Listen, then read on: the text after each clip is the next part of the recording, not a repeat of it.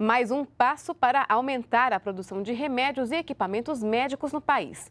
O Ministério da Saúde apresentou nesta terça-feira o balanço das novas propostas de parcerias de desenvolvimento produtivo.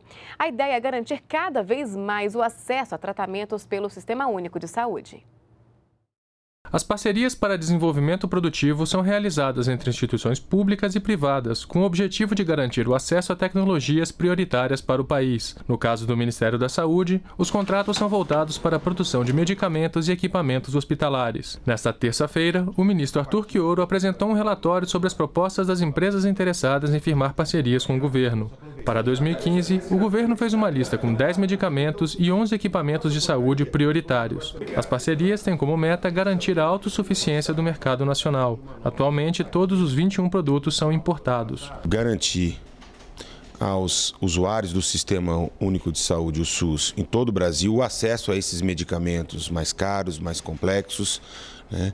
É, ao mesmo tempo estimular o nosso complexo industrial da saúde, fortalecendo os nossos laboratórios públicos, fazendo com que eles possam assimilar receber essas tecnologias mais modernas, tanto na área de medicamentos como na área de produtos médicos, de equipamentos. No final de 2014, o governo fez uma mudança importante no marco regulatório dessas parcerias. Agora são exigidos prazos para apresentação de propostas de transferência tecnológica, com maior monitoramento do governo e garantia de segurança. E o período máximo para a conclusão do projeto, com transferência definitiva da tecnologia de produção, será de até 10 anos. O compromisso é, de seguir cada uma das fases e o acesso à compra pública, ou seja, o início de fato de um contrato em que o Ministério passa a comprar um medicamento, apenas quando se comprova efetivamente que todas as condições de início de transferência da tecnologia para o laboratório público estão em curso e que o cronograma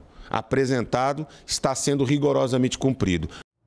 De acordo com o Ministério da Saúde, desde 2010, as parcerias de desenvolvimento produtivo trouxeram uma economia de mais de 2 bilhões de reais na compra de equipamentos de saúde e medicamentos.